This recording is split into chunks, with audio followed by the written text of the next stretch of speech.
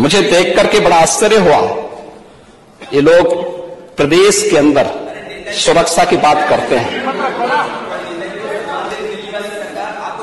हम शर्म तो तुम्हें करनी चाहिए जो अपने बाप की सम्मान नहीं कर पाए। कम से कम इस बात को शर्म करनी चाहिए। किस प्रकार का आचरण